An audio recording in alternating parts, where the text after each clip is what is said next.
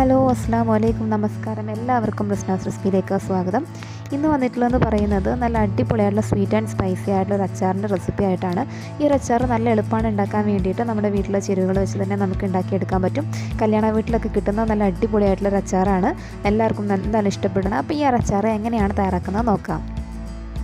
അപ്പോൾ നമുക്ക് പൈനാപ്പിൾ അച്ചാർ തയ്യാറാക്കാൻ തുടങ്ങാം. അതിന് വേണ്ടിയിട്ട് ഞാൻ ഇതുപോലത്തെ ഒരു പൈനാപ്പിളാണ് എടുത്തിട്ടുള്ളത്. ഇതൊരു ചെറിയ പൈനാപ്പിളാണ് കേട്ടോ ഇത് നാടൻ പൈനാപ്പിളാണ് ഈ പൈനാപ്പിളിന്റെ പാകം എന്ന് പറയുന്നത് വളരെ പ്രധാനപ്പെട്ടതാണ്.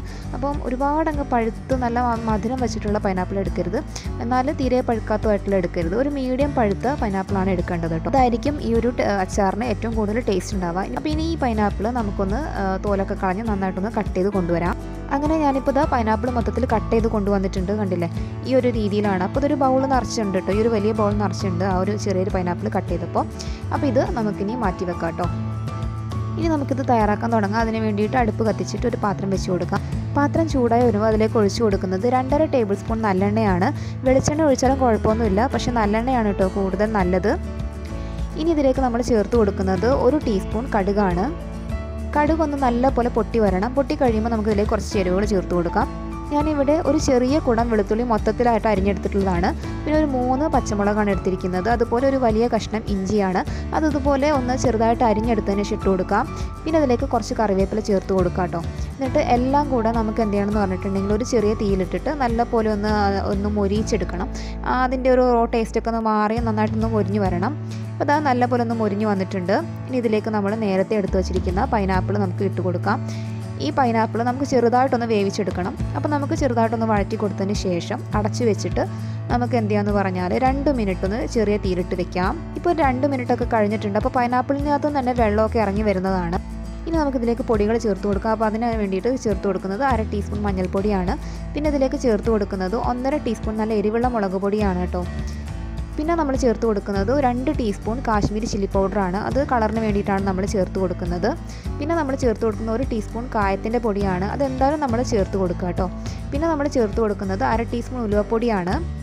ഇനി ഇതിന്റെ എല്ലാം പച്ചമണം മാറുന്നത് വരെ ചെറിയ തീയിലിട്ട് വഴറ്റി കൊടുക്കാം. ഉലുവപ്പൊടിയും കായപ്പൊടിയും എന്തായാലും ചേർക്കണം കേട്ടോ. അപ്പോഴാണ് അച്ചാറിന്റെ പെർഫെക്റ്റ് ടേസ്റ്റ് കിട്ടുക. ബാക്കിയുള്ള പൊടികളുടെ അളവ് നിങ്ങളുടെ സ്പൈസ് ലെവൽ അനുസരിച്ച് നമുക്ക് അഡ്ജസ്റ്റ് ചെയ്ത് കൊടുക്കാം കേട്ടോ. ഇപ്പോൾ നമ്മൾ ചേർത്തിട്ടുള്ള എല്ലാ പൊടികളുടെയും പച്ചച്ചോവയൊക്കെ ഒന്ന് മാറി വന്നിട്ടുണ്ട്. അപ്പം നമ്മൾ എന്തെന്ന് വെച്ചാൽ ഇടയ്ക്ക് പൈനാപ്പിളൊക്കെ ഒന്ന് ചെറുതായിട്ടൊന്ന് ഉടച്ചു കൊടുക്കുക. ഇനി നമുക്കിതിലേക്ക് പാകത്തിനുള്ള ഉപ്പ് ചേർത്ത് കൊടുക്കാം. എന്നിട്ട് നമുക്ക് ജസ്റ്റ് ഒന്ന് മിക്സ് ചെയ്ത് കൊടുക്കാം കേട്ടോ. ഇനി നമ്മളിതിലേക്ക് ചേർക്കുന്ന പ്രധാനപ്പെട്ട മറ്റൊരു ചേരുവ എന്ന് പറയുന്നത് പുളിയാണ്. അപ്പോൾ ഞാനിവിടെ എടുത്തിരിക്കുന്ന ഒരു നാരങ്ങ വലുപ്പത്തിലുള്ള പുളി നല്ല പോലെ പിഴിഞ്ഞെടുത്തിട്ടുള്ളതാണ്. അത് സത്ത് കട്ടിയുള്ള സത്തായിരിക്കണം കേട്ടോ. ഒരുപാട് അങ്ങ് ലൂസായി പോകണ്ട നല്ല കട്ടിയുള്ള തിക്കായിട്ടുള്ള പേസ്റ്റാണ് എടുക്കേണ്ടത്. അപ്പോൾ ആ ഒരു പുളി ഇതിലേക്ക് ചേർത്ത് കൊടുത്തിട്ട് അതും നമുക്ക് നല്ല പോലെ മിക്സ് ചെയ്ത് കൊടുക്കാം കേട്ടോ. ഈ ഒരു പുളി എന്ന് പറയുന്നത് നല്ല മധുരമുള്ള പുളിയാണെങ്കിൽ നല്ല ടേസ്റ്റ് ആയിരിക്കും. ഇപ്പോൾ പുളിയെല്ലാം നന്നായിട്ട് മിക്സായി വരുമ്പോൾ അതിലേക്ക് നമുക്ക് വെള്ളം ഒഴിച്ച് കൊടുക്കാം. ഞാനിവിടെ ഒരു ഏകദേശം ഒരു മൂന്ന് ടേബിൾ സ്പൂൺ വെള്ളമാണ് ഒഴിച്ച് കൊടുത്തിരിക്കുന്നത്. എന്നിട്ട് നമുക്ക് വീണ്ടും നല്ല പോലെ മിക്സ് ചെയ്ത് യോജിപ്പിക്കാം കേട്ടോ. പിന്നെ വെള്ളത്തിന്റെ അളവ് ഒരുപാട് കൂടണ്ട കേട്ടോ. കാരണം എന്ന് വെച്ചാൽ അച്ചാറിന് അത്രയ്ക്ക് അങ്ങോട്ട് എന്താ പറയുക ഒരുപാട് ലൂസായിട്ട് അച്ചാറല്ല. ഇത് എന്നാലും ഒരുപാട് കട്ടിയല്ല. ആ രീതിയിൽ നമുക്ക് ഇതിനകത്തേക്ക് വെള്ളം ഒഴിച്ചു കൊടുക്കാം. അപ്പം മൂന്ന് ടേബിൾ സ്പൂൺ വെള്ളമൊക്കെ ധാരാളമാണ്. എല്ലാം മിക്സ് ചെയ്തിട്ടുണ്ട്. ജസ്റ്റ് ഒന്ന് രണ്ട് മിനിറ്റ് ഒന്ന് മീഡിയം ഫ്ലെയിമിലിട്ട് ഒന്ന് തിളക്കട്ടെ. ഇപ്പോൾ ഒരു മീഡിയം ഫ്ലെയിമിലിട്ട് ഒരു തിളയൊക്കെ വന്നിട്ടുണ്ട്. അപ്പോൾ നമ്മൾ ഇതിലേക്ക് ചേർത്ത് കൊടുക്കുന്ന മറ്റൊരു ചേരുവ എന്ന് പറയുന്നത് ബ്രൗൺ ഷുഗർ ആണ് കേട്ടോ. ഞാനിവിടെ രണ്ടര ടേബിൾ സ്പൂൺ ബ്രൗൺ ഷുഗർ ചേർത്ത് കൊടുത്തിട്ടുണ്ട്. അപ്പോൾ അത് നിങ്ങൾക്ക് ഇഷ്ടത്തിനനുസരിച്ച് ചേർക്കാം. പിന്നെ എന്ന് പറഞ്ഞാൽ ബ്രൗൺ ഷുഗർ തന്നെ നിർബന്ധമില്ല കേട്ടോ. പകരം നിങ്ങൾക്ക് നമ്മുടെ സാധാ പഞ്ചസാരയോ അല്ലെങ്കിൽ ശർക്കരയോ ചേർത്ത് കൊടുക്കാം. ശർക്കരയാണ് പൊതുവേ ചേർക്കാറുള്ളത്. അത് ചേർക്കുമ്പോൾ ഈ അച്ചാറിന് ഇതുപോലത്തെ ഒരു കളർ കിട്ടും കണ്ടില്ലേ? ഈ ഒരു ഒരു ബ്രൗൺ പോലത്തെ കളറാണ് ഉണ്ടാവുക. ഒരു എക്സാക്ട് റെഡ് കളർ അല്ലാട്ടോ ഉണ്ടാവുക.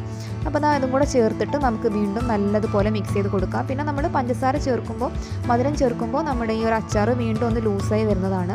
അപ്പോൾ ഇത് റെഡി ആയിട്ടുണ്ട് കണ്ടില്ലേ? പിന്നെ ഉപ്പ് എരിവ് പുളി ഇതൊക്കെ നിങ്ങൾക്ക് പാകത്തിനനുസരിച്ച് നിങ്ങളുടെ ഇഷ്ടത്തിനനുസരിച്ച് ചേർത്ത് കൊടുക്കാം കേട്ടോ. അപ്പോൾ ഇതെല്ലാം പെർഫെക്റ്റ് ആണ്. പിന്നെ ഇതിൽ നമ്മൾ വിനെഗർ ചേർക്കുന്നില്ല. ഇതെന്ന് പറഞ്ഞാൽ ഇതിനകത്ത് നമ്മൾ പുളി ചേർക്കുന്നത് കൊണ്ട് തന്നെ വിനീഗർ ചേർക്കേണ്ട ആവശ്യമില്ല. പിന്നെ ഇത് ഇൻസ്റ്റന്റ് ആയിട്ടൊരു പിക്കിളാണ് നമുക്ക് ഇട്ട അപ്പോൾ തന്നെ നമുക്കിത് യൂസ് ചെയ്ത് തുടങ്ങാം. നല്ലൊരു ടേസ്റ്റി ആയിട്ടുള്ള അച്ചാറാണിത്. നിങ്ങളെല്ലാവരും ഇതൊന്ന് ട്രൈ ചെയ്ത് നോക്കുക. എന്നിട്ട് ഫീഡ്ബാക്ക് അറിയിക്കാൻ മറക്കരുത്. അപ്പോൾ ഈ റെസിപ്പി ഇഷ്ടമാകുകയാണെന്നുണ്ടെങ്കിൽ ലൈക്ക് ചെയ്യാനും കമന്റ് ചെയ്യാനും ഷെയർ ചെയ്യാനും അതുപോലെ സബ്സ്ക്രൈബ് ചെയ്യാനൊന്നും മറക്കരുത് കേട്ടോ. നല്ല നല്ല റെസിപ്പീസും ഒക്കെ ആയിട്ട് നമുക്ക് വീണ്ടും ഇൻഷാദ റിസ്നാസ് റെസിപ്പിയിലൂടെ കണ്ടുമുട്ടാമെന്ന പ്രതീക്ഷയോടുകൂടി റിസ്ന. അതുവരെ ടാറ്റാ ബൈ.